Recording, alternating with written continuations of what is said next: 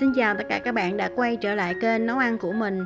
Thì hôm nay mình tiếp tục vào bếp nấu một cái món ăn rất là ngon, rất là hấp dẫn để chia sẻ với các bạn. Đó là cái món gà hấp nấm đông cô ha. Thì cái sở thích của gia đình mình nó rất là thích ăn gà, thích ăn gà hơn là ăn thịt heo, thịt bò. Thì à, cho nên là mình cứ ăn gà hoài luôn. Thì thay đổi món thì hôm nay mình chia sẻ với các bạn một cái món rất là hấp dẫn luôn.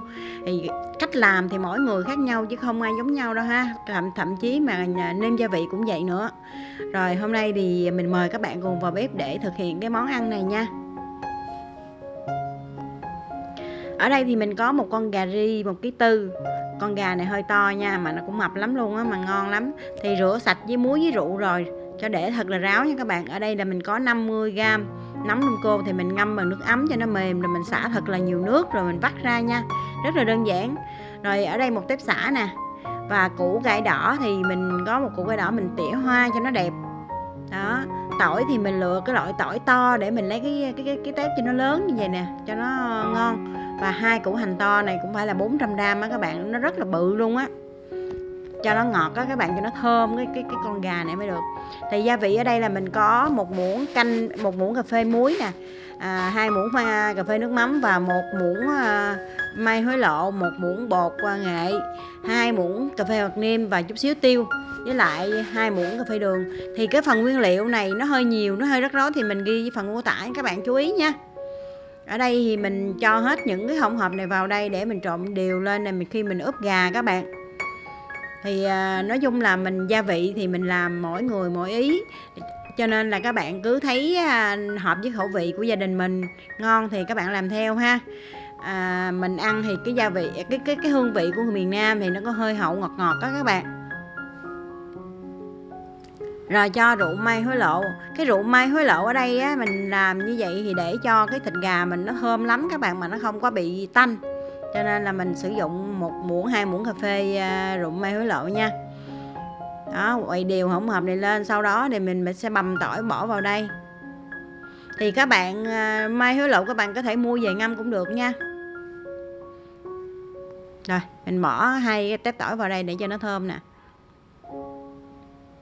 Thì mai hứa lộ nhà mình tự ngâm đó các bạn, để dành tại mình thường hay nấu ăn á. Mà nấu mình hay cái, hay bỏ rượu vô cho nó thơm á. Rồi bây giờ mình sẽ cho hai muỗng cà phê à, sa tế ớt nha. Bỏ vào đây thì các bạn nào mà không ăn cay được thì các bạn lựa lựa cái loại sa tế bình thường thôi không có không có cay ha. Quậy đều hỗn hợp này lên. Những nguyên liệu mình đưa ra là rất là vừa ăn mình không cần nêm thêm một cái gì hết á các bạn. Rất là vừa ăn luôn á. Rồi bây giờ mình sẽ đưa ướp gà. Thì gà này mình cũng uh, chuẩn bị uh, mình xăm cho nó cái da gà cho nó thấm gia vị nè.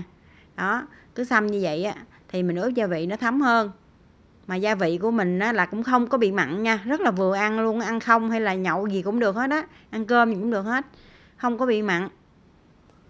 Còn nếu như các bạn nào mà thích mặn hơn thì các bạn có thể là chấm muối chấm ớt á chứ đừng có nêm trong con gà mặn quá thì nó không có còn cái vị ngọt của con gà nha. Rồi các bạn cứ như vậy các bạn xăm xăm để cho nó thấm cái cái da gà mà vô cái gia vị của mình á. Hôm nay là một tuần lễ nhà mình cứ ăn gà suốt vậy đó. Thích ăn gà lắm.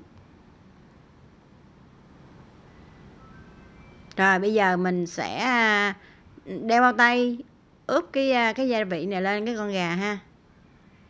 Thơm lắm nha làm như vậy á hả cái món gà này rất là ngon luôn. Thậm chí mà nó thấm vô cái nấm đâm cô á các bạn thấm vô những cái, cái rau củ quả đó khi mà mình hấp xong rồi á ăn cái món nào nó cũng ngon á ăn ăn mấy cái cái topping nó ăn kèm á rất là ngon luôn á. Các bạn cứ làm theo cái y y như cái à, cái gia vị mình hướng dẫn đi rất là ngon luôn. Mà mình hấp như vậy á, thì con gà nó rất là ngọt bởi vì nó là mình không có phải luộc mình không có bỏ nước á cho nên là rất là ngọt thịt luôn á. Đó massage cho nó đều như vậy nè để cho nó thấm gia vị vào ha. Thì gà dễ ăn bạn các bạn ha. Mình làm đủ thức món hết á rất là nhiều món gà mình chế biến rất là nhiều luôn á. Mà mình thích ăn sao mà thịt á, thịt gà nó còn cái độ ngọt á chứ mình không thích mà ướp mặn hay là mình chiên lên nó kiểu như nó làm cho không còn cái cái cái hương vị thịt gà đó. Thì toàn là nghe mùi gia vị không thì mình cũng không có thích lắm.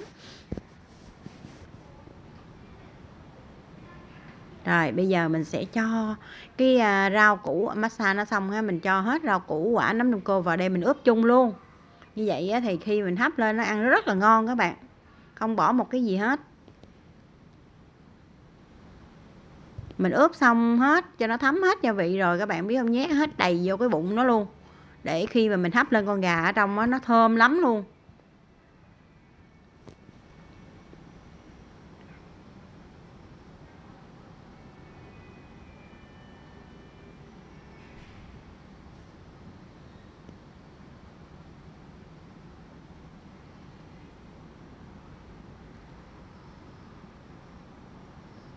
Rồi, ướp cho nó đều lên. Ngon ghê không chưa có hấp mà đã thấy ngon rồi ha các bạn. Thấy à, có cái độ hấp dẫn lên rồi ha.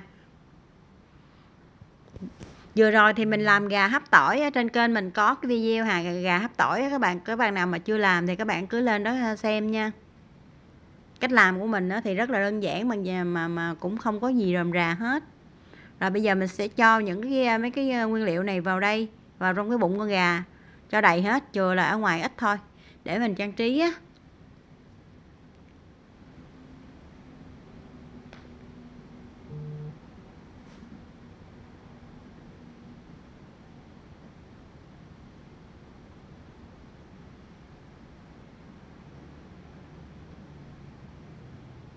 Rồi bây giờ mình sẽ à, hai củ hành tây nó rất là to, bây giờ mình sắc ra một củ mình sắc làm ba ra mình để lót dưới đỉnh nồi như vậy nè.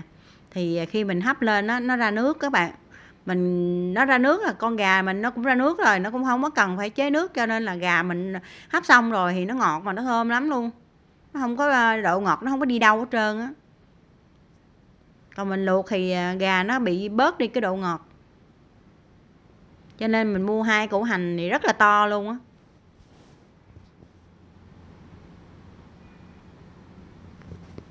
Rồi, sau đó thì mình sẽ đặt con gà lên đây. Thì trong con gà khi mình hấp á, trong con gà nó cũng ra nước nha các bạn, tại vì rau củ nhiều á. Mình để lửa nhỏ thôi, hấp không cần phải để lửa lớn đâu. Tại vì mình để lửa lớn các bạn biết sao nó sẽ bị khét á. Nó chưa kịp chín là nó sẽ khét á, tại trong đây nó cũng có à, đường á. Rồi lại mình không có cho nước nữa thì à, mình cũng sợ khét cho nên để lửa nhỏ thôi. riêu riêu được rồi. Rồi, ngon quá chừng ha các bạn ha. Chưa hấp là đã ngon rồi ha. Rồi bây giờ mình đậy nắp lại mình hấp trong vòng 50 phút. Tại vì gà này nó rất là non mà rất là mau chín được rồi mình cũng hấp có hấp có 45 phút thôi mà nó chín rồi các bạn. Bây giờ mình sẽ để à, 50 phút tại vì có rau củ đó. Rồi mình vớt con gà ra sau 50 phút mình hấp nè các bạn. Thì nó rất nó cạn hết nước rồi nó, nó rất là thơm luôn á rồi nó rớt cái topping dưới bây giờ mình sẽ à, xé gà ra. Xé gà ra nè. Đó bây giờ mình sẽ chắc cái topping này lên và cái nước gà nó cũng còn chút chút nè các bạn. Tại vì nó ra nước á củ hành nó ra nước thì các bạn biết ra độ ngọt của nó là nó rất là ngọt cũng rất là thơm luôn á. Các bạn nhìn có hấp dẫn không? Nếu như các bạn nào mà thấy ngon thì các bạn à, ủng hộ mình à, chia sẻ cái à, video và là bạn nào mà chưa đăng ký kênh á thì đăng ký kênh ủng hộ mình ha rồi à, lần sau mình sẽ ra video khác nữa. Thì à, các bạn tham khảo các bạn làm.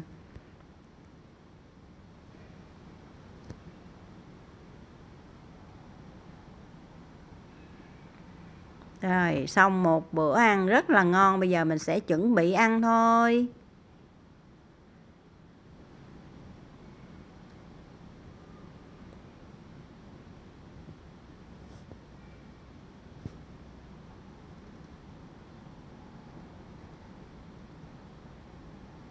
Cảm ơn tất cả mọi người đã theo dõi hết cái video này.